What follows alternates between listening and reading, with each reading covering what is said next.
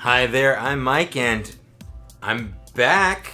As you can see behind me, I've got, well, the same shelves and the same stuff, just nothing's out because I just moved in.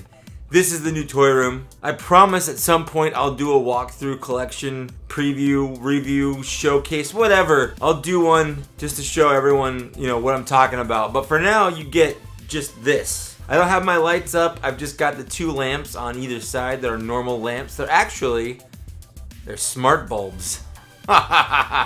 so that's gonna be fun to play with. So I've been gone for, you know, a while. Like I said I was, about a month, I think. What brought me back today is it's Comic-Con. There's a lot of stuff happening this weekend. And while I'd love to spend time talking about all the rad Marvel Legends that were announced, nobody watches my channel for Marvel Legends news. At least based on the one Marvel Legends review that I've done, I guess. No one, no one really watched that. So let's talk about Star Wars news because I care about that. No, I'm not really to get into any of the vintage stuff. I don't collect the three and three quarter figures, so it's not really something I'm to talk about a whole lot. I'm to focus on the six inch scale Black Series figures because that's what I have a complete collection of, and that's what I'm going to continue to collect. Before we jump into the Comic Con news, what I want to talk about is things that are being released right now. Commander Wolf, which I have done a review of on this channel, is out.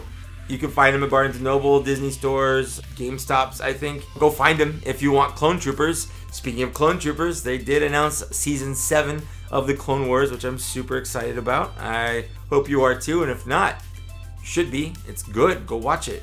If you like Star Wars, just go watch the Clone Wars. Like, it's good. Basically, any day now, we're getting Bespin Han Solo, Tobias Beckett from the Solo movie, and the Rebel Fleet Trooper from Rogue One slash A New Hope. I'm looking forward to those a lot. Although, my advice is maybe you want to hold off on that Bespin Han Solo. We're also getting Enfys Nest and her speeder, which I'm very much looking forward to. Don't know if you liked Solo or not, but I did, and I'm, I'm looking forward to that. Also, there have been some announcements that I haven't really gone over. Things like Admiral Piett, which is an Entertainment Earth exclusive slash online exclusive. General Veers, which is a Walgreens exclusive, which I'm looking forward to. Those should be coming out at some point. The Gamorrean Guard is a Target exclusive that I've heard rumors has been sighted in the United States. I know he's been released over in other countries like the UK and Canada. There's also that Stormtrooper pack with the stand and a bunch of explosions. That's going to be a Toys R Us exclusive, but Toys R Us doesn't exist in the United States, so who knows what who's gonna get that? Who knows? I don't know. I don't know who's gonna get that, but someone's gonna get it. There was also this weekend the San Diego Comic Con exclusive Bespin Han Solo, which is the same as the Bespin Han Solo we're getting in the regular wave, except for he also comes with a Mynock and like a face mask breather thing, because apparently in the stomach of a space worm, you can just simply exist out in space with simply a breathing mask, which is a, a thing, I guess. So let's talk about the fun stuff. The fun stuff that just got announced, depending on when this goes up, maybe two days ago. I don't know. As I'm, I'm rusty. Basically, the first day of San Diego Comic Con, Hasbro always has like a breakfast preview thing where they just kind of throw out some stuff for people to kind of whet their appetites, so to speak. At that breakfast preview, they showed off the Rebel Fleet Trooper, Tobias Beckett, L3-37, Val from the Solo movie, Bespin Han, Hoth Leia, Dengar, and the new, which I don't think had been announced before, the Imperial Patrol Trooper, which I'm very much looking forward to. I always am down for a new trooper design. Now, I am a little disappointed that he doesn't come with a speeder. In my brain, that was a perfect choice for the next kind of vehicle figure combo. In fact, it was on my list of top 10 vehicle combos that I want to see, which I haven't made yet. So you wouldn't know that. That's why I'm telling you right now. It was on the list. So here's hoping maybe in the future they'll still do that. But as for now, we're just getting the figure, which is just going to have to be okay, I guess. Now, all of those figures that I just listed are part of the same waves, which is why I said maybe hold off on getting Bespin Han now. That way you can buy the whole case when it comes out and not worry about getting a repacked Han. So that was the breakfast preview Thursday morning. Now yesterday, yesterday being Friday, they had the actual panel where they talked about, you know, upcoming Black Series stuff and what's coming out and, and where they're going from here.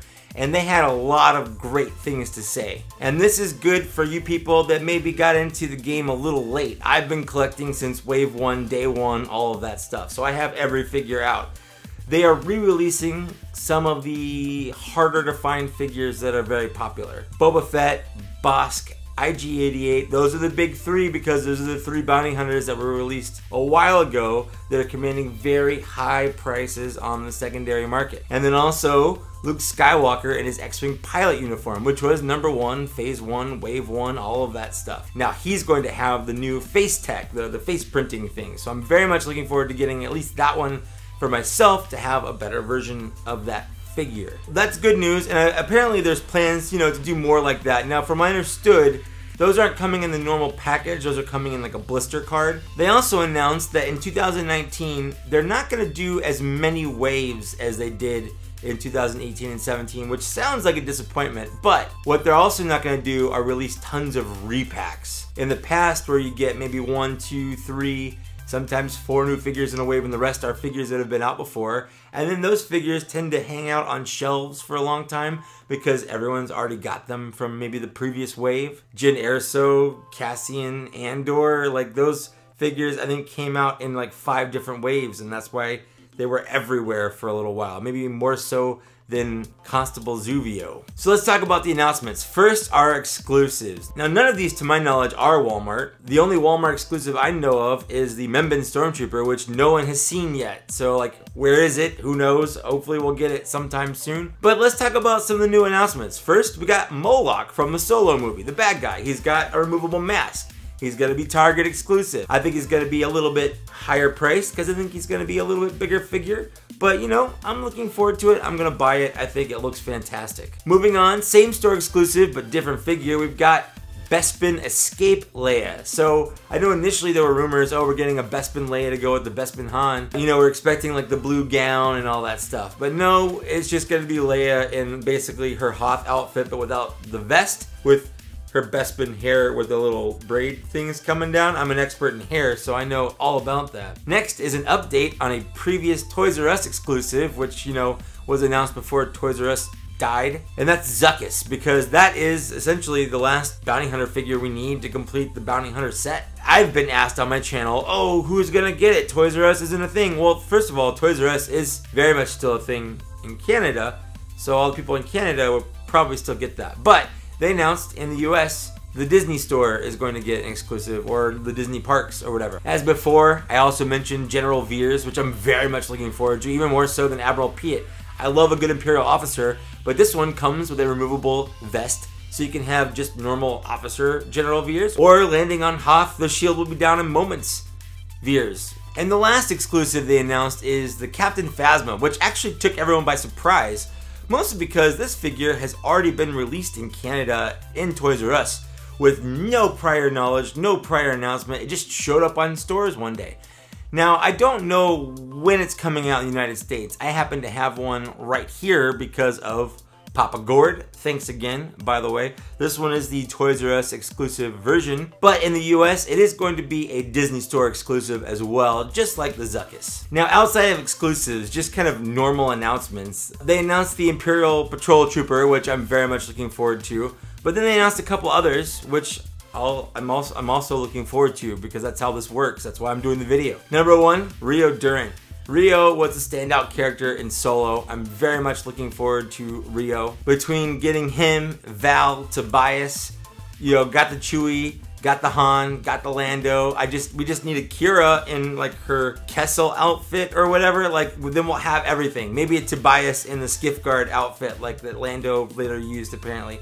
Eh, a couple little things there, but we've pretty much got the whole cast, which is more than I can say for Rogue One, which we never finished because we never got a Bodhi Hook. Bodhi Rook? Forgot his name. Bodhi Rook? I'm pretty sure it's Bodhi Rook. And the last two figures they announced, which I am very excited for, are Ezra Bridger and Chopper. Two of the very few remaining figures we need from the Rebels crew. We already have Hera, we already have Sabine, we already have Kanan. Now all we need is a Zeb, and we have a full-on Ghost crew, and I'm super looking forward to it. Ezra is a Season 1 counterpart. He's got his blaster lightsaber combo, and he's got cadet helmet thing. Chopper has got a wheel accessory and then his little rocket booster thing with a flame accessory so you can kind of mount him up to make it look like he's flying. And that's just rad. He's got his little arms, he's got some pop out things, and that's it. There are some figures that I didn't mention before that have been announced that, you know, I've talked about in other videos Vice Admiral Holdo from The Last Jedi, Skiff Guard Lando, which uh, you know is going to be great. I've already talked about them, so I don't really don't want to get into them. I really wanted to focus on the stuff that just got announced, the the new breaking news, and I wanted to show off a little bit of my toy room, which you know all you're seeing is this. But that's it. That's all I've got. Thanks for sticking with me. I'm back. I'll try to do more videos, but I still have more work to do, so I'm not out of the woods yet. There's a ton of stuff in my closet I haven't put out. I have to take all these out of the boxes.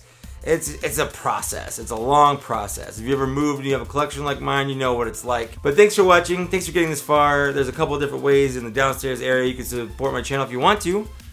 Like, share, subscribe, you know, the normal YouTube stuff. And I'll see you later. Bye.